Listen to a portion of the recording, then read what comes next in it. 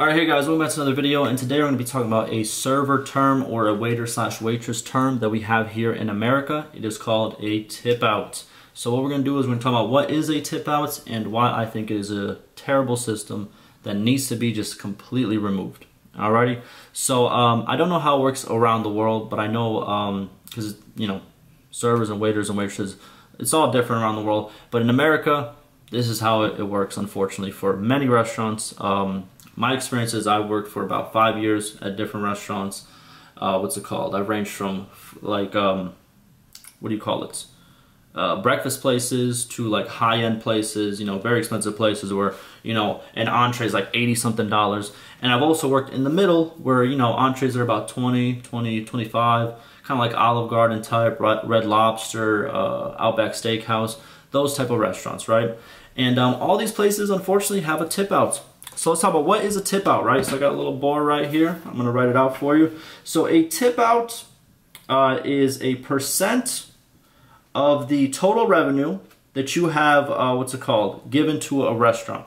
Or, uh, you know, yeah, pretty much given to a restaurant as a server.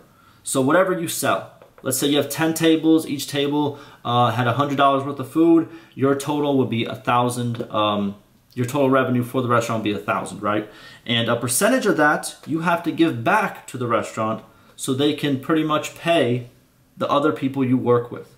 That tip out is based on who's working that day. Let's say if you guys are fully stocked up, let's say you have a busboy, the person who cleans the tables, you have a food runner, the person who runs the food, and you have a bartender. All those will take a percentage out, what's it called? A percentage out of the total revenue that you have to pay out of the tips that you earned, and you have to give it to them. Now, so what's it called? Here's a tip out, percent of total revenue, and uh, given to other positions. Alrighty. So there is the explanation right there. And now let's talk about uh, an example, right? So that same example that I said, let's say you had 10 tables. It's kind of an imaginary thing, but let's say you had 10 tables, all got $100 worth of food. So your total revenue is a thousand that you made for the restaurant, right? Now, typically, tip outs um, at most places is about 5% on average. Sometimes it's less, depending if you, how staffed you are. Sometimes it's a little bit more, depending on how, uh, you know, more, uh, more likely than not, places where you earn more, the tip out is higher, which, you know, pretty much is a way to just say, if you earn more, you have to give back more. But uh, let's say you made a thousand in total revenue for the restaurant. I don't know if you guys can see or should I go this way? But uh, let's say you made total revenue of a thousand, right? Now let's say the tip out is 5%. So you have to give, um, okay, and out of this total revenue, let's say you made 15% in tips, right? So out of a thousand, um, let's say you made 150 in tips. So let's put the tips right here. We got tips. So you start off at 150, right? Now, um, most places that I go to, um, each single position that you have to pay out and tip out is a different amount.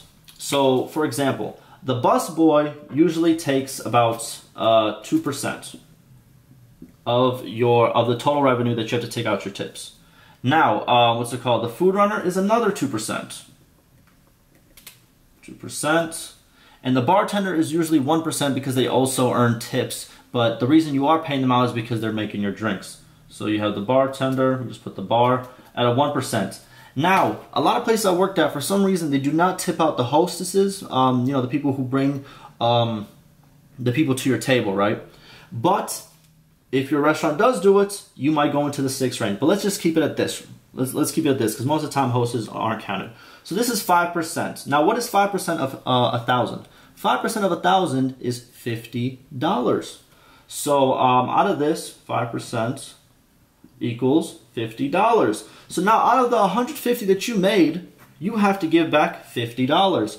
So all of a sudden, you went from 150 to $100. You might still say that's very good. It is. But at the same time, now that you know what a tip out is, you know, the total revenue you have to give back to everybody else who worked there, and um, it has to come out of your tips. Now, another thing that's crazy is you still have to declare this amount on your taxes. even though you paid, you still have to declare this amount. Just remember that. This is one of the reasons why I don't like the system. You still have to pay this, even though this is what you technically brought home. Great system, right? But here's why I think this system is absolute trash. It is a system that is used so the employer or the company, the corporation, doesn't uh, have to actually pay a decent wage to these positions because guess what? They put the uh, pretty much they how, how, can I explain this? They put the responsibility on you to earn uh, everyone else extra income, right? So usually um, servers they make good. Like you know what I'm saying, you come home with 100, or if you if there was no tip out, you come with 150, which is pretty good. Usually to get a thousand, it's like a five six hour shift in my opinion. Now these uh, workers right over here, they usually do not get paid much. They usually get paid minimum wage or a little bit over minimum wage. And the incentive for people to get these jobs is, oh, well, we have a tip out system. So therefore, the servers will pay you at the end of every night, um, you know, a little extra plus whatever you earn. But what they don't tell you is, it's not that much. It really is not that much because this 50 that you gave has to be broken down between all of this. And if you have a big restaurant, you might have two, three busboys. You might have two, three food runners. You might have two bartenders. You know what I'm saying? If it's a very uh, restaurant that's going very by very quick.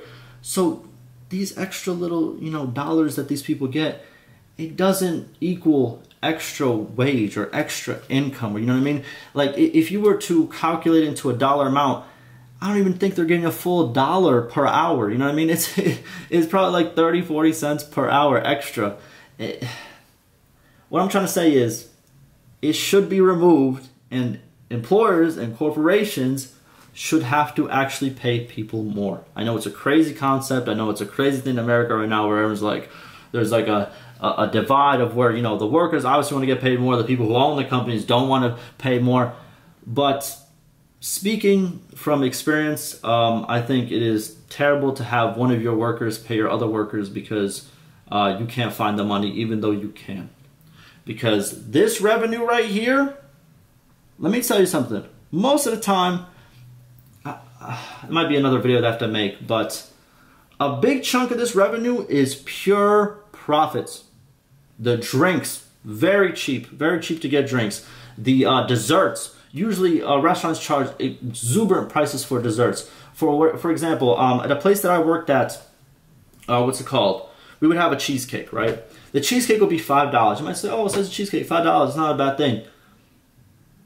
When I tell you, we would buy our cheesecakes because uh, we buy them in bulk. We would buy them for about ten to fifteen dollars, depending on the season, depending on the company, whatever. Ten to fifteen dollars for a full cheesecake, and there would be eighteen to twenty slices. You know what I mean? So you would buy this for uh, uh, um, for about ten to fifteen dollars and sell it to close to a hundred. We would never sell full cheesecakes. We only do it by slice. So when I tell you, like the only thing that really costs money um, for restaurants is like the main food that you cook, right? Like the main food. If it's if it's a seafood place, the crab, the this, the that. If it's a steak place, the steak and all that. But all that extra little stuff I hope you know it is pure profit, so they can afford to pay. You know what I'm saying? Uh, what's it called? The um these workers their fair share.